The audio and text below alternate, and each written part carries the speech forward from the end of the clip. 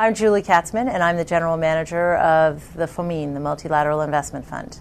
The FOMIN has had a pretty substantial historical presence in Haiti. Um, at the time of the earthquake, we had 22 active projects and a portfolio value of about $11 million. And in 2009, had approved a little over $5 million of new projects in Haiti. In the short term, we're doing two things. First, our donor committee approved a $3 million line for us to support our current executing agencies.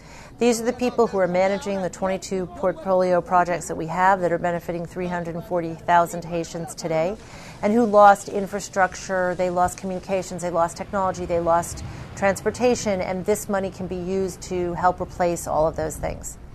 Secondly, we needed to look at those 22 projects and determine how and if any of them needed to be reformulated or even, in fact, canceled if they couldn't be executed any longer.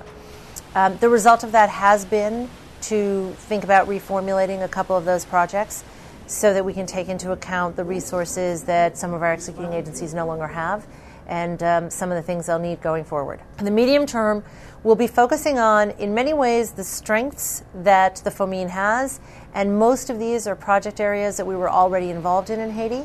And then we'll be adding a couple of other things. So we'll be continuing to support the remittance sector, the microfinance sector, continue our work in the agribusiness area, and our work supporting small, medium enterprises, micro, small, and medium sized enterprises in sectors like textiles, tourism, um, and, and, and some others. Ironically, we were in the midst of starting a training pro- program focused on construction that was due to kick off in February.